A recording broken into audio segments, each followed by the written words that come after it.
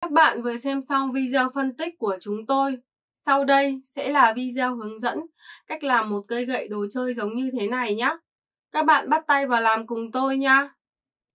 Hôm nay mình sẽ hướng dẫn các bạn cách làm một cây gậy đồ chơi đơn giản nhé. Nguyên liệu của mình cần có đó là bút chì, thước kẻ, kéo, compa, keo dán mình sẽ dùng là keo nến. Các bạn cũng có thể sử dụng các loại keo khác để dán nhé như là keo dán giấy này hay là băng dính hai mặt thì đều có thể dán được.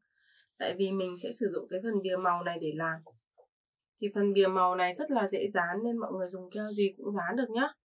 Ở đây mình chuẩn bị bốn màu sắc bìa như thế này, màu xanh lam này, màu trắng, màu đỏ và màu vàng.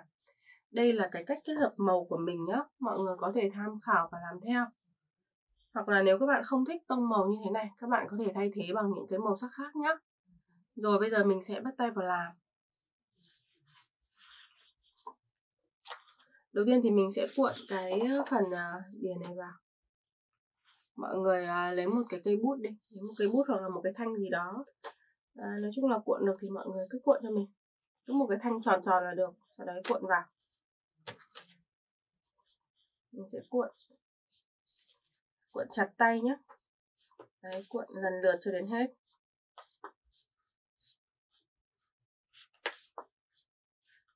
Tiếp tục cuộn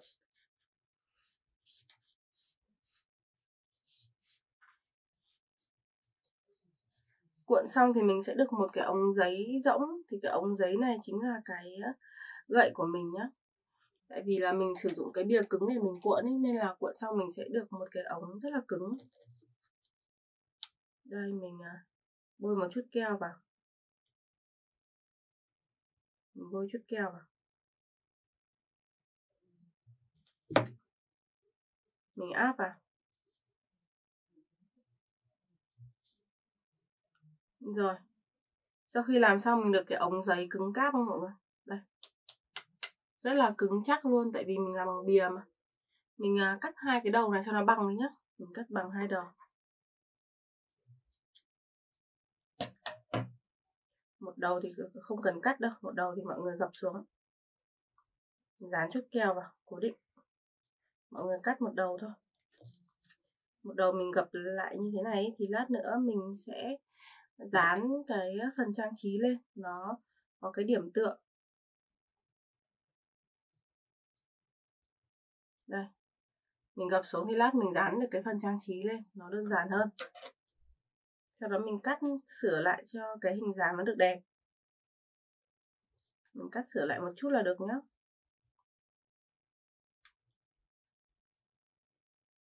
rồi, cái đầu còn lại thì mình sẽ cắt bằng đi.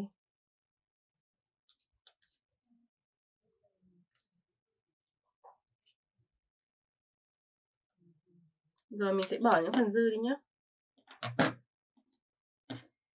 mình bỏ những phần dư đi. Rồi, mình được cái ống giấy rồi này. Bây giờ mình sẽ làm phần trang trí mình gắn lên. Mình sử dụng bìa màu đỏ và bìa màu vàng này mình làm trang trí này. Trước khi dùng đến cái phần trang trí thì mình sẽ làm mình làm nốt phần gậy. Phần gậy thì mình sẽ phải à, sử dụng thêm cái bìa màu trắng này. Mình kẻ vào đây hai dải màu có độ rộng 0,7 cm mình kẻ vào đây.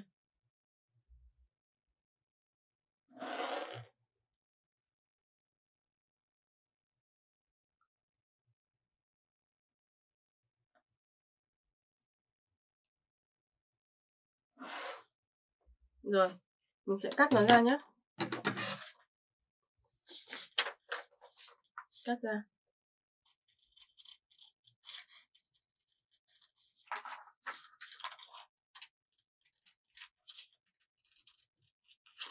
Mình cắt lần lượt cho đến hết. Tiếp tục cắt.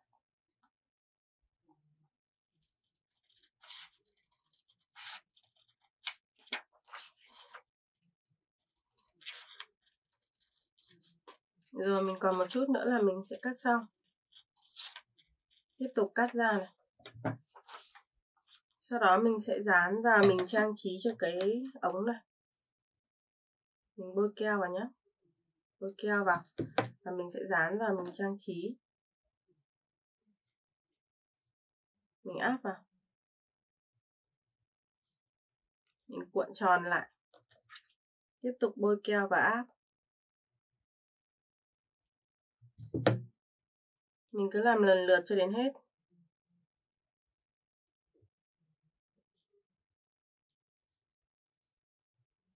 Tiếp tục bôi keo và áp vào.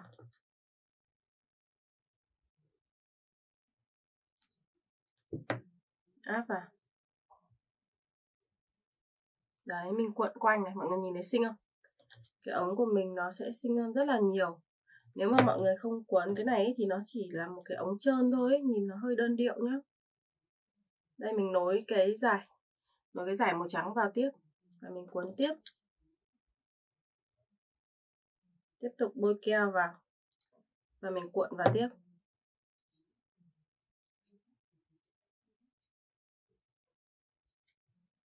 Mình cứ làm lần lượt cho đến hết. Rồi, sau đó mình sẽ cắt bỏ phần dư cắt bỏ những phần dư đi.